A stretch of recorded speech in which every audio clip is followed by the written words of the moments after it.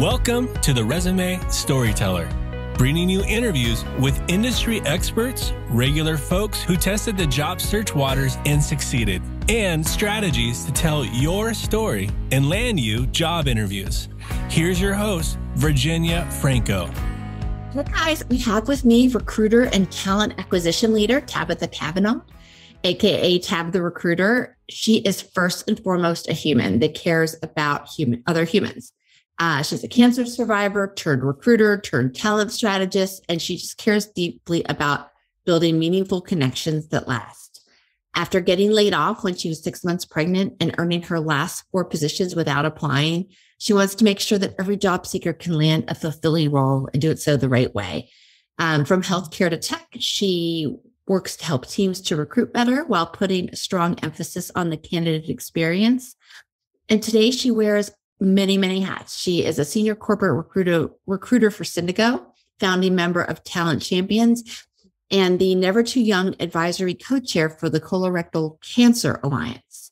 Um, Tabitha, did I get all those all of those hats right? And thank you for joining me. Oh, thank you. I am so excited to be here. And yes, you absolutely nailed it. I was just thinking, wow, great intro. Thanks, Virginia. thank you. Well, I've followed you for a long time. So I know, I feel like I know a lot. I could write your bio. Um, so for the listeners, you heard the brief bio, but I would love for you to give just a quick overview of you know what it is you do and how you came to be a recruiter. Absolutely. So, as you mentioned, now I'm a senior recruiter with Syndigo. I absolutely love my job. I I say I have the best job on the planet, and I really feel like I do. At least for me, it's just the alignment is fantastic. So, like most recruiters, uh, like a lot of people will say, they accidentally fell into recruiting, and that is kind of what happened to me. It was a little bit intentional, a little bit not. You know, we don't go to college to be recruiters. That's just not a thing. I think absolutely something that we need to change. Um, but that's probably for another conversation. So, mm-hmm. you know, I um I had cancer and after that battle, I was just like, you know what? What am I doing with my life? What do I want to be when I grow up? Right. And I I just thought my sales and marketing and my relationship building, what could I use that for? And I remembered a conversation I had with a recruiter and I just thought, oh, you know, maybe I can do that. And so I put my, so I literally put one foot out. I like started to step out into exploring that and ended up finding my first opportunity to join a really a great boutique agency out of Nashville. Um, I'll plug them, Thinking Ahead Executive Search. They were phenomenal to mm. start my career with. And the leader that I started there with, I'm actually back with now, which is something that it really oh just come full circle. I know it's, relationship it's a really building, cool right? Story. Yep, exactly. So that's what I'm doing now. I'm recruiting kind of all across the board for a SaaS company, and um, I, I've recruited a lot of different positions, but it's it's why I wait. One of the reasons I wake up every day, um, you know, outside of my family and and all of that. So it's a great, a really great career path. Oh, I love that. Um, so would you mind explaining to me and to other people like we're in kindergarten what are the i know that there's different kind of recruiters internal contract, all of that. Would can you break it down in terms of the different types that there are? You know, for those of us who are might be in the dark. For sure, absolutely. And this is a question that I find a lot of people want to know, but for some reason don't really ask, and so there's a lot of confusion around it. But when I started, I started an agency. And basically, what that means is we're a third party. We would connect with, let's say, your corporate organization, and we would be essentially an extension of your current efforts. When maybe you have a talent acquisition team, maybe you don't. Um, but we are we come in, um, and there's a couple different ways of external recruiting. Um, there's contingent, you know, there's fee for service. And essentially, what that means is sometimes I could be hired to come work on a project, um, a new search, and maybe they pay us up front. Um, and that is typically fee for service. And then sometimes contingent is another option that people go with.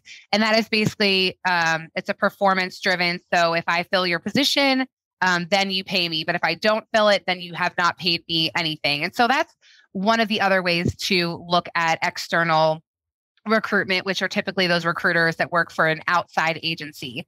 What I do now is a corporate recruiter or quote unquote inside recruiter. There's kind of a lot of ways people like to refer to us.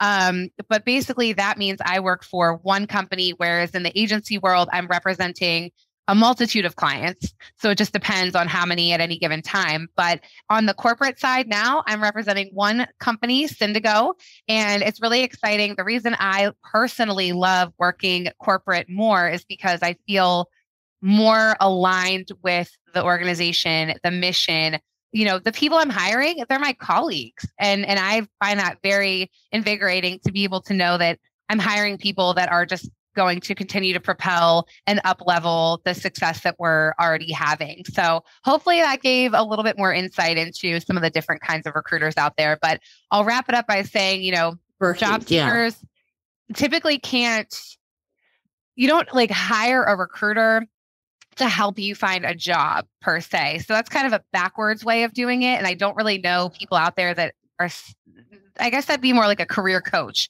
So if they're going to mm-hmm. hire a coach to help the, them navigate the career journey, a recruiter is likely only going to help you navigate the journey that you're in at any given moment with any given client that they have. And they're typically super focused on a position for you. And if they don't have a fit for you, then they're likely not going to invest as much time. Now, there are absolute exceptions to that. Um, I definitely take a little bit of a different approach, but I would say, in terms of understanding the world of recruitment and what it looks like as a whole, that's probably the best way to, to, to think about things. That is excellent. So let me just recap. So External agency recruitment is third party, and that can either be fee for service where you they pay up front or uh, contingent where it's based on the outcomes. Um, inside corporate recruiting, the company has an internal staff dedicated to hiring people, and the recruiters ultimately will be your colleagues. Um, and recruiters do not generally work to find their their you are not their clients their clients are the companies that they are searching searching to find Correct. a fit for and that that's their focus is that right right okay. yes i think that's a great recap for me i'm okay. essentially balancing the needs of the business with the needs of the uh, of the candidates that are coming through our process so it's really facilitating all of that you think of us as sales marketing project management. You know, we're kind of a mishmash of all of these different transferable skills, which is why I tell people if they're thinking about getting into recruitment, if you love people, in my opinion, that is the heart of what we do. Right. Uh, no, I and I yeah. seen that from you and, and a handful. awesome. So, in terms of the contingent um, people who who pay, work on a contingent basis, is it also the case where a company might say, here's the posting and have four or five different agencies be simultaneously looking to fill it? Yes, that okay. absolutely happens. And that is more so in the contingent world, right? Because they're not investing money.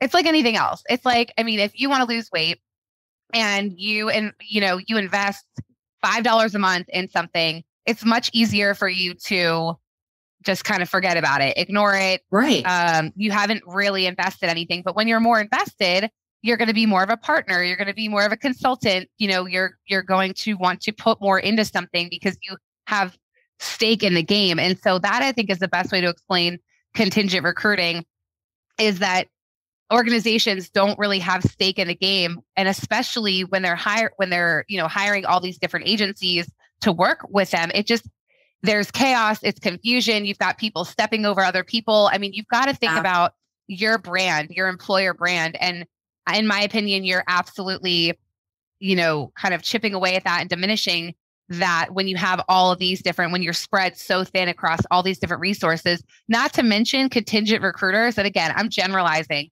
but contingent recruiters are typically very motivated by commission.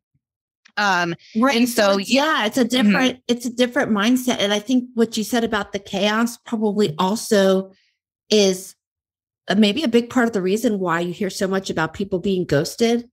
Um, because when there's chaos, things get lost in the shuffle and people that are, you know, motivated by commission sometimes are on to the next thing as quickly Absolutely. as possible if there's not a good fit, right? Exactly. You're not it, like they they see again. I'm generalizing, but essentially, sure. as a contingent recruiter, you're seeing dollar signs because you're like, okay, this person, if they're not a good fit for my role, then yeah, on to the next. And sometimes people let those fall by the wayside, or or you're yeah. stepping on toes. I mean, imagine what if I'm coming? What if I'm coming after you, but you've already been uh, you know, reached out to by the other four recruiters working on the same search. I mean, that's not a good experience for you. It's especially if one of them already decided you weren't going to move forward and then one decided you were and it just it's it's chaos and i think that's that's the best word for it. Um thank you that really helps a lot um as i do i i know a lot of people are confused by all of that. Um and yeah the purpose of this podcast for anyone listening is to uh break down recruiting you know fundamentals um for lay people.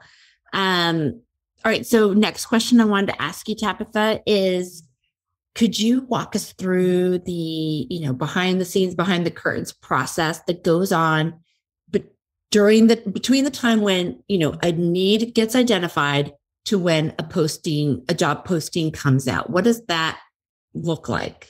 And what's the time oh, frame? Oh, yeah.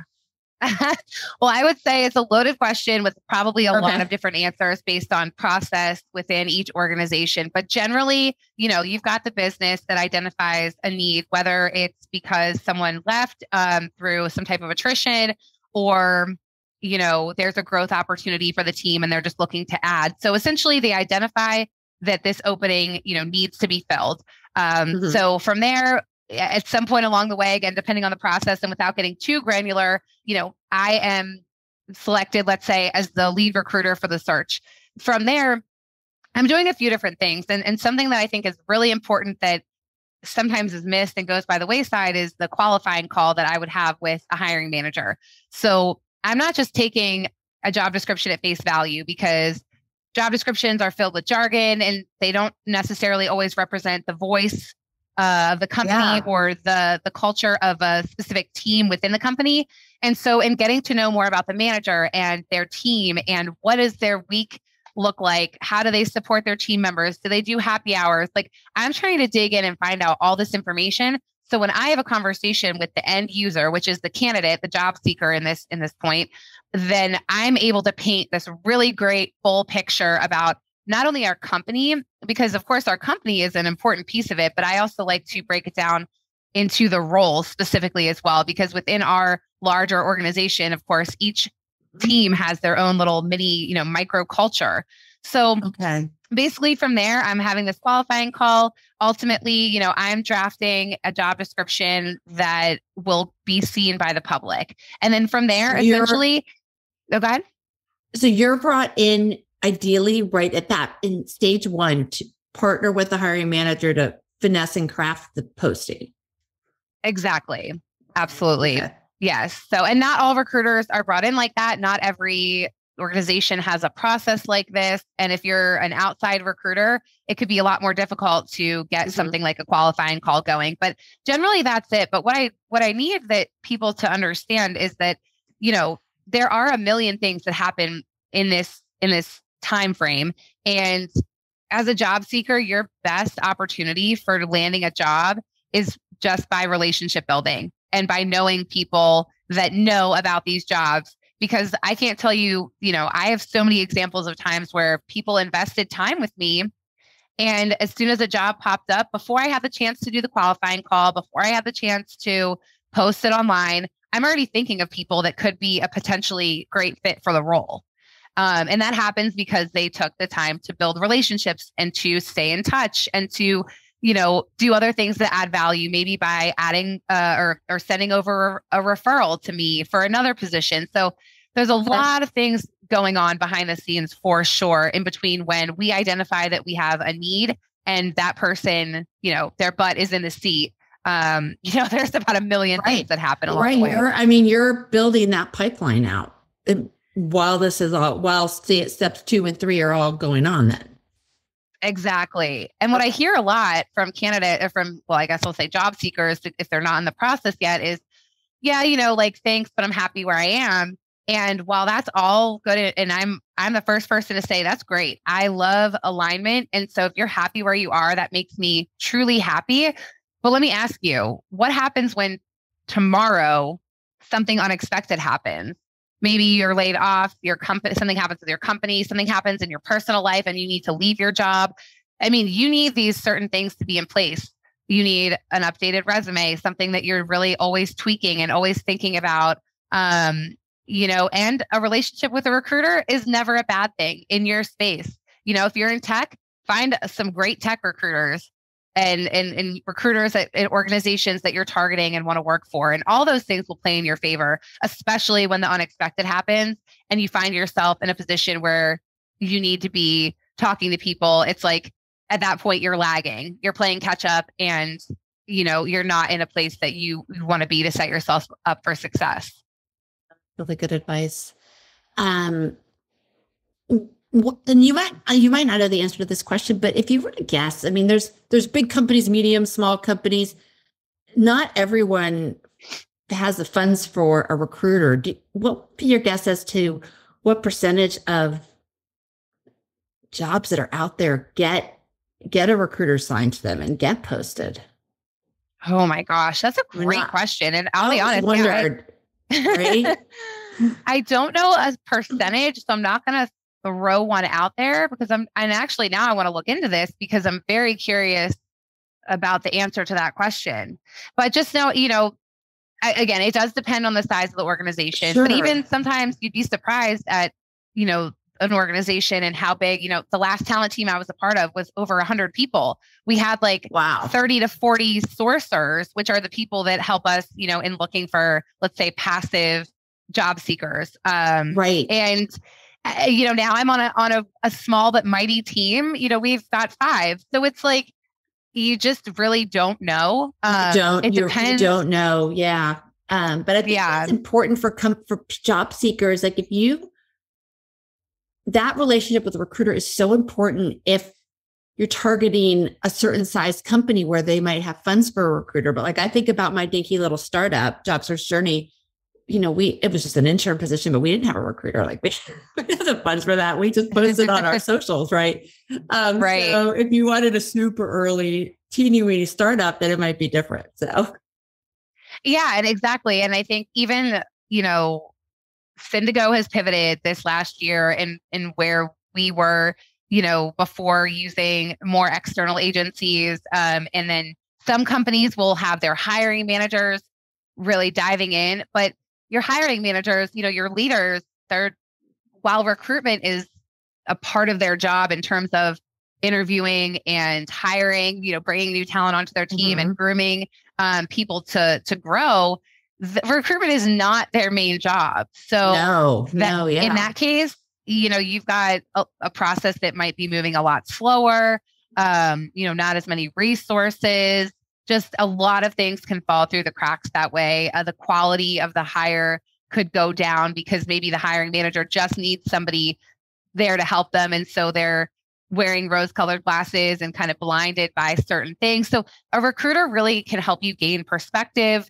And a consultative recruiter is someone that's going to be able to come in and just be that partner throughout the journey and be the expert for you. So you don't have to be because that's not your job. Right. And and so when you partner with a hiring manager to write the job posting, do you then need to get it vetted through like legal and HR like and all of that?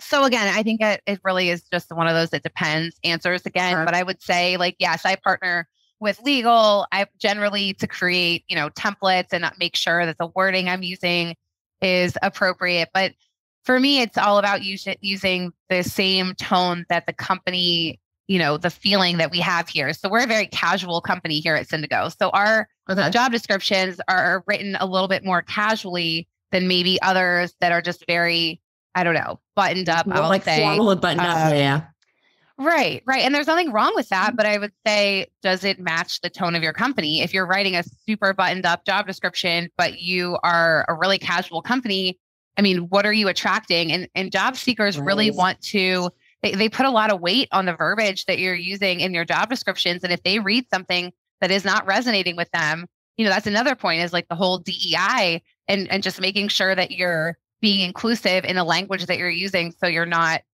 you know, making someone feel like they don't belong. So all of those things really matter. A lot of thought. Yeah, no, and, and, people um, or should pay attention. no, and people pay attention. Absolutely, they do. And I, the more and more conversations I have with people, the more and more that just is becoming apparent to me that, you know, you can't just slap a job posting up and expect for like hundreds or thousands of candidates to mm-hmm. to flow in. And that's another piece is that a lot of recruiters are waiting for those applicants. Um, but you're not necessarily getting the talent that you're looking for. So recruitment is, you know, you're not just sitting on the bench waiting for something to come to you or someone right. in this space right. to come to you. You really have to be out there immersed in the space that you work in, creating those relationships. Well, you're right. It's no longer if they build it, if you build it, they will come environment. Not if you want to get really target, if you want to really get the right people. I agree with that. Right. Um, right. So what are where you know what are your go-to sources for finding candidates? Where do you where do you look? Oh, well, I guess the obvious probably is LinkedIn. Um, definitely all over LinkedIn, pretty much all day, every day. But outside of that, I mean, this is a this is a human sport. I'll, I'll say it, I guess, for the lack of a better term at the moment. Is I'm looking for referrals. I'm looking to tap into the community, the network that I've built and invested in, um, because good people know good people, and so I I love referrals, employee referrals, or just you know I, I talked to actually one of my favorites, and and this is a tip for job seekers: is if the job isn't right for you, or for some reason maybe it was a, the right fit for you, but you the timing was off and you ended up needing to accept another offer, um, mm-hmm. you know, be that person that offers value by saying, "Hey, I know that it didn't work out with me, but here's another really great person that I think could be a great fit for your team." And one of my um, what someone just recently did that and we ended up hiring the person that she referred because she was very thoughtful about it. She said based on what i know about the team and the company so far i think that this other candidate would slot in. Like if you like me you're going to like this person. And she was right. And so that you know just took her to a whole nother level in my book and oh, something yeah. that i will you're going to you know, remember her. forget. Exactly. Exactly. Uh, when it comes to using linkedin do you just use the same version that Joe Jobseeker uses, or do you do you have you purchased uh, LinkedIn's software or their programs for this? Yeah, so I do use LinkedIn Recruiter. Um, we also are, you know, again blessed to have some tools that maybe not everybody has, um, and so that helps in terms of getting contact information because sometimes people want to be reached but I have definitely seen people leave their phone number off their resume. They've left it off of their LinkedIn profile or their contact information. So, mm. you know, sometimes we're like, we're investigators too, you know, we've got to dig deep and we've got to figure out how to kind of hunt people down um, in some cases. So, yeah, I would say that most recruiters out there are using some form of, you know, LinkedIn or maybe Indeed. Um, you know, some of the older tools that I don't, I haven't used in a while, but like Career Builder or Monster. Right, right. I don't even know if some of those are still around, to be honest. But yeah, those are all good tools, but primarily LinkedIn and and not just LinkedIn as a job board, but LinkedIn as a community. So, you know, being involved in on the platform, but not just when you're looking for a job, when you're just if you're if you really can get in there and figure out how to build relationships and be immersed in the space and in your industry and so on like become a thought leader by just sharing you know if you have information that is you know you're one day further along than someone else in your career you know you've got something to offer and so i think that it's a really good place to it's kind of like a fun sandbox to play in and um, meet a lot of phenomenal people along the way Oh yeah, no, and that's that's how you and I met. Um, you also yep. gave, you also another tip that you just offered is that don't if you are in job search mode, don't make it hard for people to be able to get in touch with you. Um, some people don't realize that their privacy settings are set so that it's hard to reach the person or um, mm-hmm. they don't have their contact information listed. Um, I you know I know when I write people's resumes, even though I put the contact information in the contact section, I also stick it in the about section and try to make it as easy as possible for someone who's visiting my profile to easily be able to connect with me. Absolutely. Don't make it a guessing game, right? Because if yes. I really like your profile, I will dig to a certain extent. But especially in today's market, what everybody is calling, you know, this great resignation, the great mm-hmm. reawakening, whatever you're calling it, um, you know, that's that's absolutely something to consider because I'm only going to go so far. I'm not going to chase you to the ends of the earth to try to have one conversation when we've never met before. So right. yeah, absolutely make it easy make for it people easy. to find you. Yep, exactly. Yep. Um, okay, next topic that um, is the fodder for many, many, many blog articles and posts. Um, ATS, which is applicant tracking software systems. Um, can you explain ATS to us in just basic terms?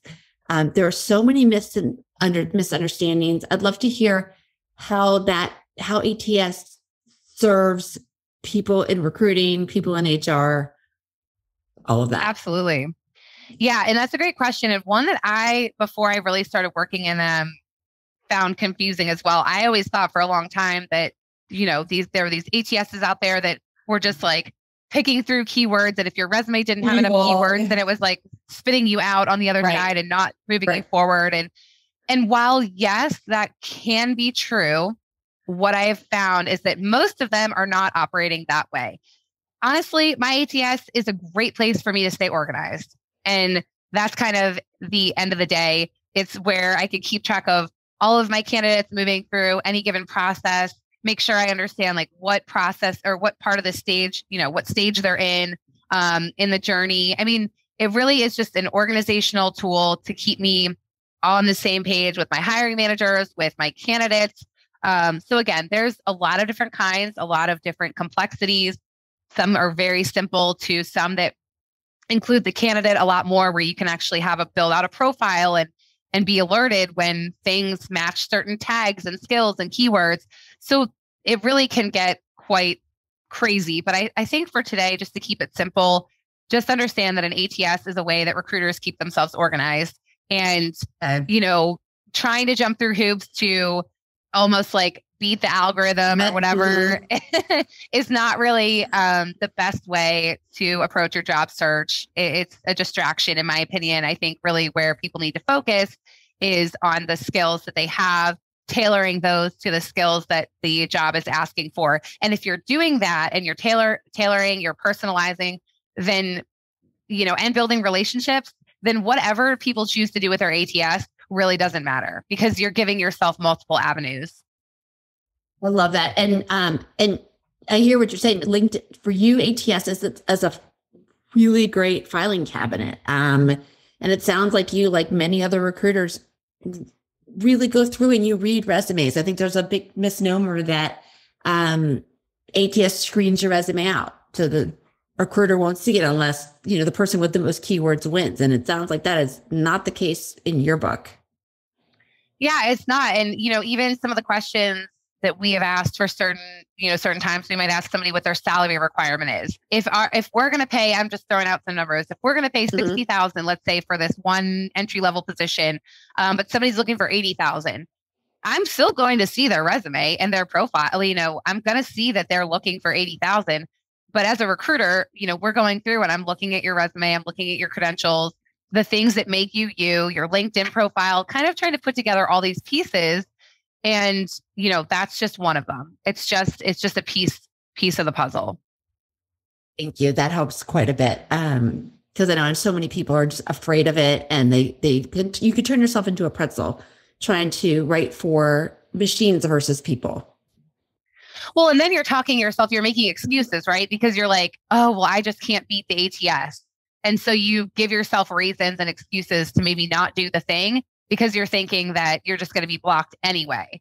And so that I think part of it also comes down to mindset, which is a whole other topic. But.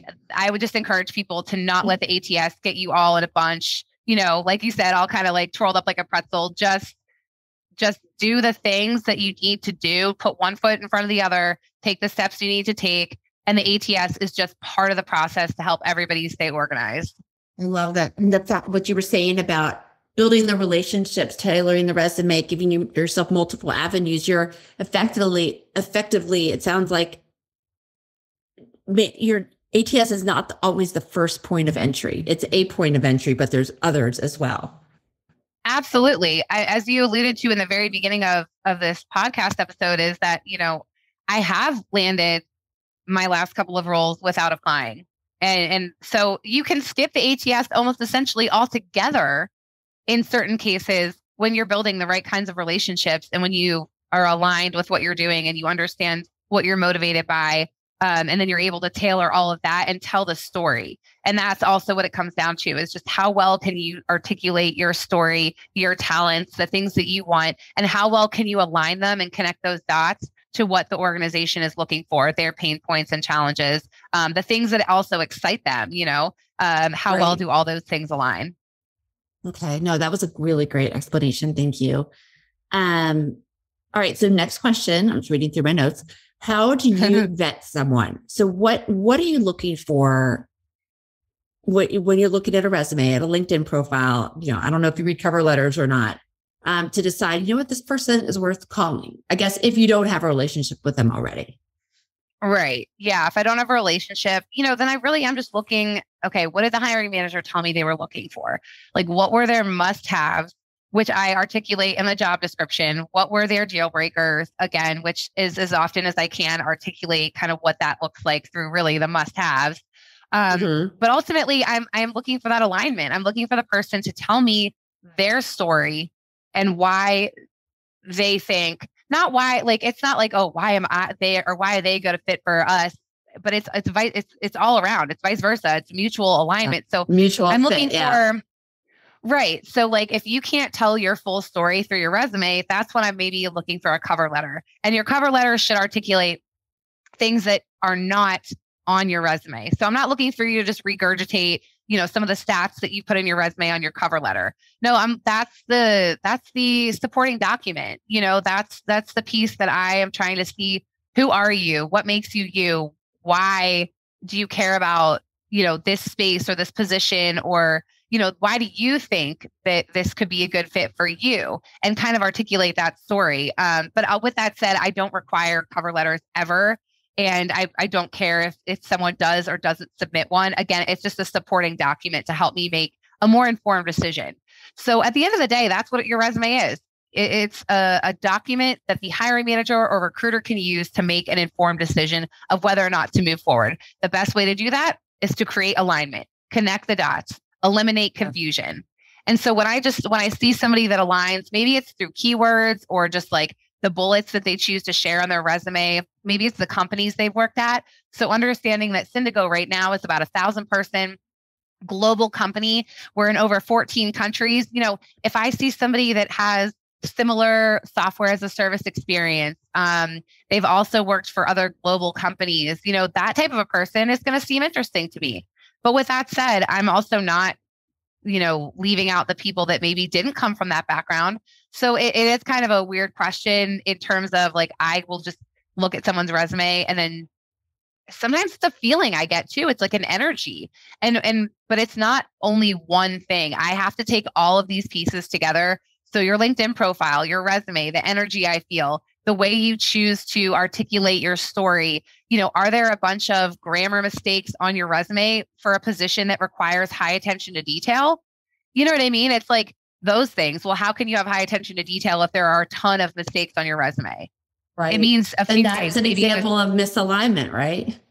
Exactly. Like, how could I be looking for that person and then be able to say that you're bringing that to the table when my first impression of you is a resume that does not show me that you have attention to detail. So it's just certain things like that. It's really awareness and paying attention, you know, to to your surroundings and to the the organizations that you're applying for. I mean, does it make sense? And if you can't articulate it to the company, then how am I supposed to connect the dots and you know all the way if if you're not even aligned on what it is that that you want to do? This feels like a mix of art and science, right? With the art being like the gut feel and things like that, right? And then the science, yeah, towards the companies who work for all that. Um, okay, the next thing I wanted to ask you about, um, because you hear a lot about it, we alluded to it earlier, is the whole notion of being ghosted by people. And I know ghosting is mm-hmm. a two-way street. Um, what advice can you share um, or can you share some insight on what might be going on behind the scenes um, in cases where people feel like they're ghosted, ghosted and an approach that you might recommend to balance, you know, showing interest without feeling like a stalker. right, right. Mm-hmm. Yeah, there's and that goes on my side too, you know. Sometimes I've got to if I'm excited about a candidate, I've got to remind myself to like chill on the emotional part of it and and um so and that's what I would remind people to do is you could be really excited about a position so let us know that. I want to know when when someone is excited. Um but to answer your question around ghosting so there's a lot of different reasons this happens. In my world you know I'm certainly not going to sit here and say I've never you know things haven't fallen through the cracks. With that said sure. ghosting to me implies almost like an intentionality yeah. and and a lack of organization on, in some cases because if a recruiter is really overwhelmed and you're a candidate and let's say you're like middle of the pack so you're not the the top candidate but maybe you're not the the the you know low man on the totem pole low person on the totem pole um you know you could fall in this weird middle category. I don't know let's call it the the friend zone or something like where the place that people don't really want to get stuck sometimes. Um you know you you fall into this area and and you can again, just kind of fall through the cracks. So I would say on a recruiter's part, it's not always intentional. Like they're not like, oh, I'm just not going to reach back out to Virginia ever again. You know, um, I think it's a mix of things. You know, sometimes a candidate doesn't show as much interest, and then they're e- they're easier to forget. To be completely honest, because right, you know, we have life changing conversations on a daily basis on both sides, and so if you're one of those candidates that's just kind of, um, you know, you're not showing emotion, enthusiasm. You're not able to come up with strong examples to support your skills and your work. I mean, there's a million different reasons why right. you could just kind of fall off of somebody's radar. And then it happens the other way around too. A candidate will decide, you know what, I on the call, I said I was interested, but then I got off and realized, you know, this really just wasn't for me. I felt uncomfortable telling the recruiter that it wasn't for me. So now I'm just never going to talk to them again. I mean, I've definitely had candidates drop oh, off yeah. in interview processes at offer stages um, but typically, the way I'm able to get around this is by setting expectations early and often. So at the at the first phone conversation I have with anyone that I'm moving forward with, I'm letting them know, hey, listen, here's what to expect from me: a very transparent, authentic conversation that's going to help you assess the alignment that you're looking for and make sure that we have that on both sides in order to move forward.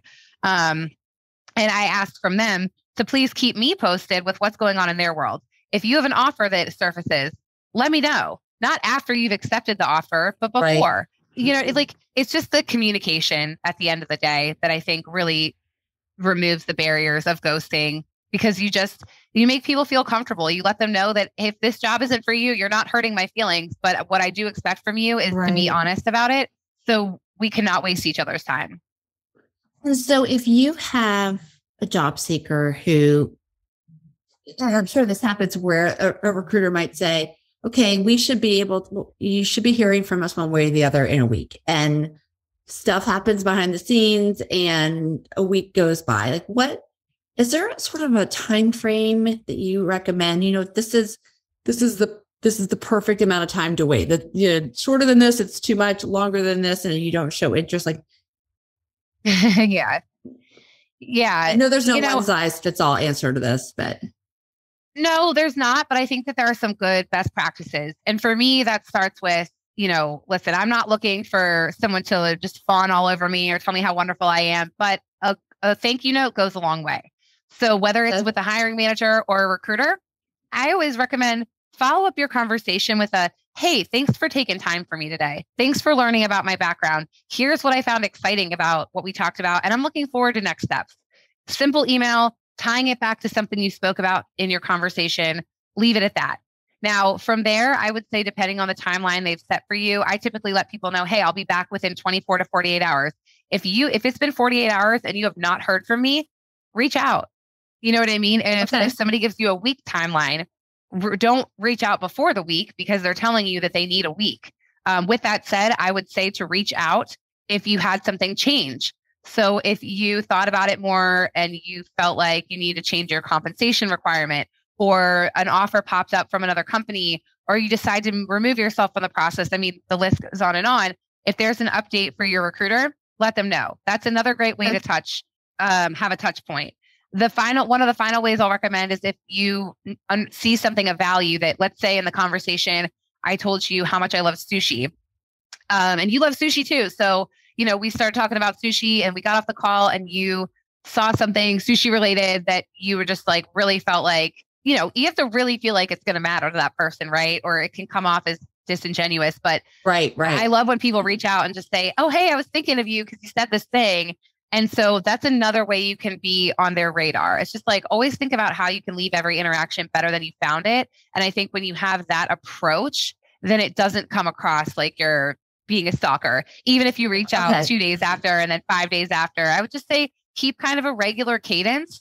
Um, but then also be weary of of journeys that are maybe taking a little bit longer um, and and maybe recruiters or hiring managers that just aren't ever doing what they say they're going to do like that on your side should also be a red flag so as a recruiter i'm always looking to communicate always always always over communicate i find that then people feel like they're in the know and they're willing to be yeah. more patient when you do need to maybe have a week in between when you don't have answers yet I agree with that. Um, so those are you gave three really. I'm just going to recap what you said in terms of when it makes sense to reach out. First is when there's a change or an update on your end that you know pertains to your job, your job situation, or your, um, you know, the information that you gave to the recruiter. Two is after if the deadline or the time frame has passed um, that you were given, uh, you know, at the onset, and then Third is if you see something of, of if there's something you want to share of value related to the discussion. Yes, absolutely. Right? Okay. Awesome. Um, okay. So second and last question. Do you have a job search or a recruiting faux pas, just something that drives you crazy that you see people do? This is where you get to be snarky. um, I mean, I think there's a lot of there's a lot of recruiting faux pas. There's a lot of job seeker faux pas. So what I'll say go with job, go job seeker. Yeah, go with job seeker faux pas. It's just I think is not building relationships. Is just applying and applying and applying blindly without tailoring your resume. And and I can tell when someone's tailored for the most part versus when they're not. And it's it's okay if they don't have haven't completely tailored their resume, done some huge revamp. It doesn't need to be that. So I think that's definitely one of my biggest kind of pet peeves is when you have the skills, you have the potential, but you haven't invested in yourself enough to be able to articulate your story in a way that makes sense for the person reading your audience on the other end, whether that's your resume, your LinkedIn profile. So I just, I, I wish people would just invest in themselves a little bit more in that way, understanding that that extra 10 minutes you spent on your resume to tweak it for a specific job I mean, that could make all the difference. And if you don't, if you're not good at that, you know, some people are just not great at writing or they're not great at putting their skills down on paper. And I think that's when you have to be not afraid to call in, call in, you know, the backup. Call in some we don't, yeah. yeah. I mean, I don't go fix my own car. I mean, I'm not a, a mechanic. I'm not a doctor. Like I call in the experts, right? I mean, there's all these analogies. You call in the people when you need support. Mm-hmm. And this is no different. People like you in, you know, career coaches, resume writers, other recruiters that are just willing to give you, you know, feedback, other hiring managers that you are close with that know you inside and out. I mean, ask for help, put yourself out there because when you do that, then someone else is out there with ears listening for you. Um, and I could give a million examples of when that works. So uh, that's definitely, and, and, I think, a faux pas. And what you were saying about how you know you you're part of the alignment is that you're you're showing interest um, yes. and you you guys can tell when a when a resume has been has been tailored. And so that extra effort of tailoring is another way of showing interest, right?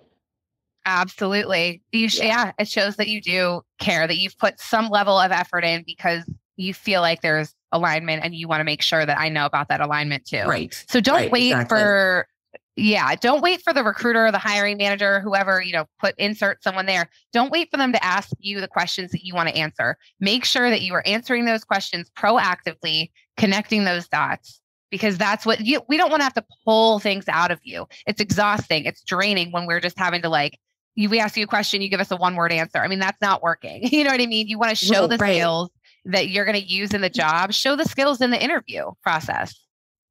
No, absolutely, absolutely. Um, well, Tabitha, the last question, and then I'm going to let you go because you've uh, you've been so generous with your time. Um, you have lots of hats, as I indicated at the beginning with the bio. What is next for you? What are your plans for 2022? Yeah, this year I'm super excited because in addition to recruitment, I actually am working on our employer branding and recruitment marketing with our awesome marketing team. And um, and an example of I actually got to hire uh, someone, uh, one of our new digital marketing specialists, Abby. Abby and I now get to collaborate on a project together for recruitment marketing. And this is what I mean awesome. by Yes, this is why I love my job because, like I said, I'm hiring my colleagues and now I get to actually work with her, which is kind of a unique scenario. Doesn't always happen in my world, but it's just a, a cool thing. So that's what's next for me is really continuing to just grow as a recruiter and become better at what I do and hone in on my craft, but also to expand into the world of more so things I do kind of on a day to day basis, but now really focused on recruitment marketing for Syndigo as a an, as a company and and just help continue to attract the best people um, to what we're building here. So I'm I'm really pumped about that. Thanks for oh, asking. That's exciting. So if people want to follow you because you share lots of great insights and advice, um, I've listed on the bio your LinkedIn, um, The Recruiter, and your Twitter handle, which is also Tab the Recruiter. Are those the two best places to keep tabs on you, no pun intended, or other site. I just realized that. I love it. I love it. Hey, I'm always good for I'm good for a cheesy pun or whatever. There you go. I make them. I make them often on purpose. Okay. So, no, I love it. Um, I would say, to be honest, LinkedIn is probably the best way to reach me right now. Okay. So I have some other social media, but LinkedIn is really where you're going to find me active and able to engage and, and those types of things. So um, yeah, best way to find me in the comments or posting or you know i'm around. Excellent. Well thank you so so much. You I, I feel like you you've just done such a great job of clearing up a lot of misconceptions and giving really actionable tips so that job seekers have have a way to approach recruiters and build that relationship thank you i i really appreciate you giving me the platform to do this i just i really want to help job seekers land the job of their dreams. And it might sound cliche or what have you, but I really believe that there's alignment out there for everyone. It just is dependent on your mindset, your level of awareness, and really the effort you're willing to put in, which doesn't always mean you need to be jumping over the moon, but just, you know, putting yourself out there and trying new things. Um, I'm excited and I hope that these tips will help somebody land somewhere that they really, really want to be. I'm sure they will. Thank you again. Absolutely. Thanks, Virginia. You've been listening to The Resume Storyteller with Virginia Franco. To learn more about storytelling strategies to catch the eye of today's online skim hiring and decision makers, please visit www.virginiafrancoresumes.com.